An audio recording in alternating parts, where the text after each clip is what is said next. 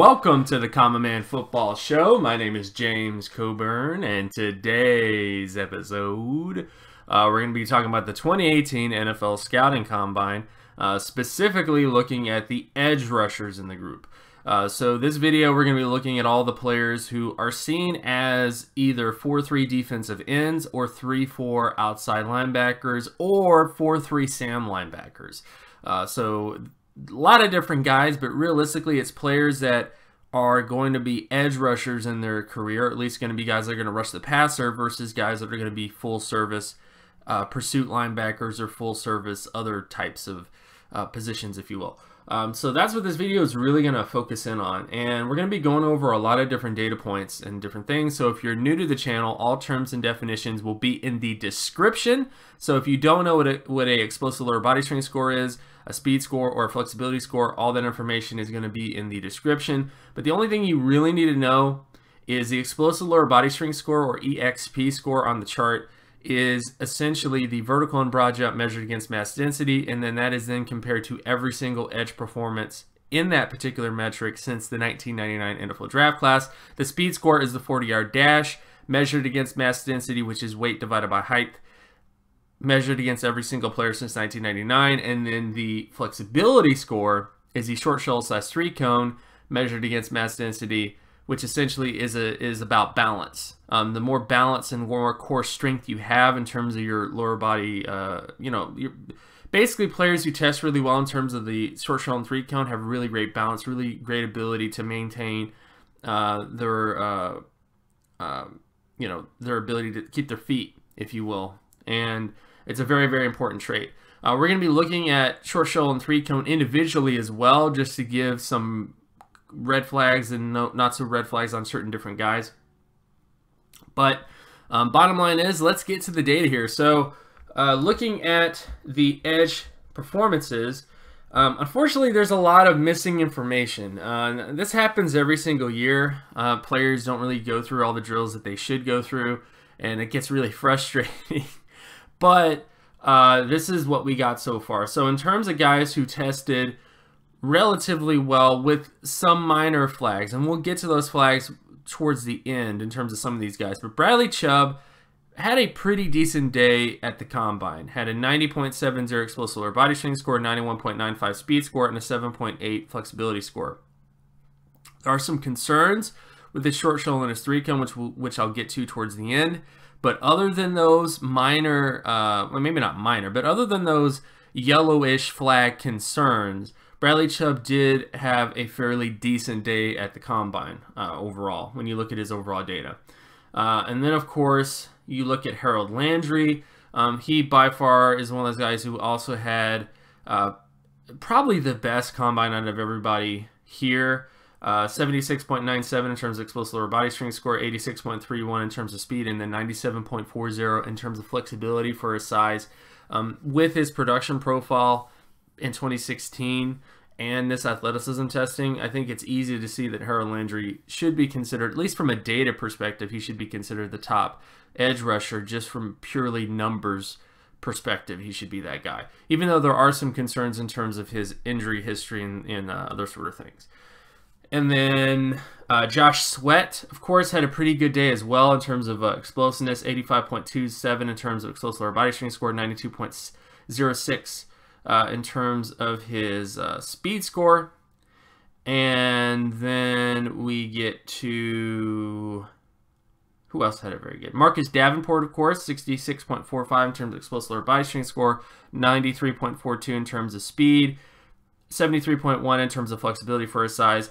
Pretty good testing day from Davenport. Not as impressive as everybody's been making it out to be, because you can clearly see he didn't have 90 plus percentile across the board testing he had 90 plus percentile speed and then he had above average explosiveness and above average flexibility. So I would say Davenport is definitely a good athlete. He's just not a amazing at like he's not a gotta have it top 10 athlete. He just isn't that type of dude. Uh, and then of course when you get to Peter Kalambayi from Stanford, he had a good day as well in terms of uh, explosiveness, speed, and then flexibility.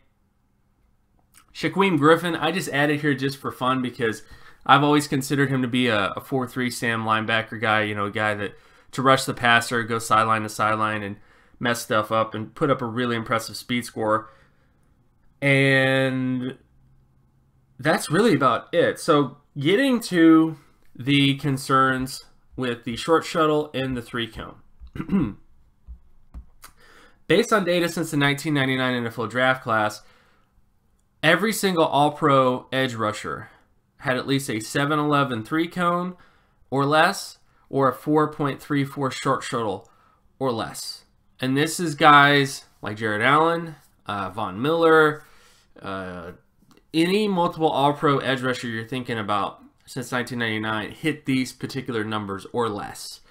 Pro Bowlers had 7.37 or less, and short shuttle was 4.47 or less. Now, you're going to hear a lot of people talking about Bradley Chubb and saying that you should take him off your board.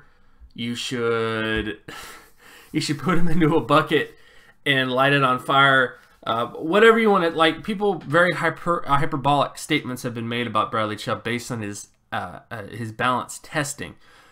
What I know is this: Does this take Bradley Chubb out of All Pro potential status? Yes, I think based on the flexibility testing, the balance testing, I think this definitely does take Bradley Chubb out of the discussion as a top 10 pick. Not necessarily a top 10 player, but just in the sense of a player player in my general idea of the top 10, you take players that have a very good shot of becoming a multiple all-pro type player in terms of picking a guy in the top 10. And Bradley Chubb has a 0% chance of becoming that type of dude. Has a 0% chance of becoming like a Von Miller, a Jared Allen, uh, any of those other types of guys. But, but, I think if you look at his overall profile, you look at his production profile, which if you go back to the videos I've made, you know, just type in Bradley Chubb Analytics, you'll find my video in terms of uh, him as a player. Pretty, pretty amazing in terms of his overall production. You look at his above average explosiveness, his above average speed, and I think this is a guy that should be considered a player that could become a top 10 to top 15, 16-ish edge rusher at the next level. To basically become like a Jadeveon Clowney type, because Jadeveon Clowney had very similar concerns. Clowney was a better athlete overall, though.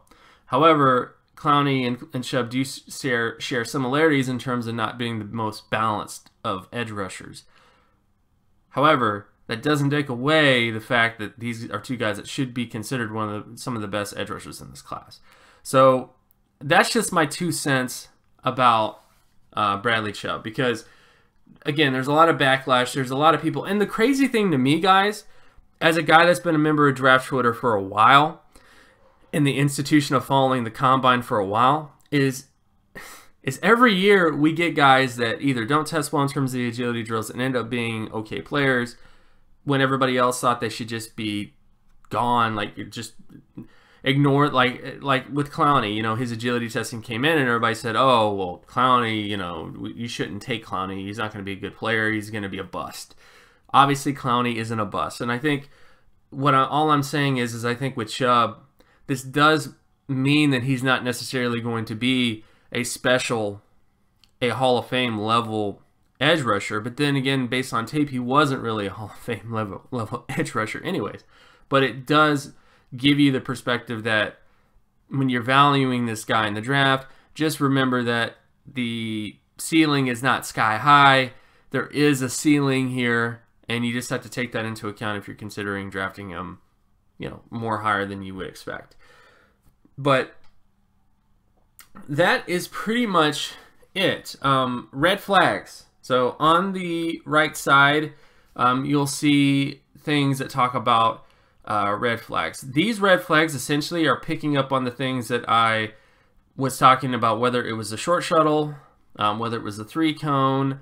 Um, I think you can pretty much get a gander in terms of who doesn't look very well in terms of data, but this is just a general.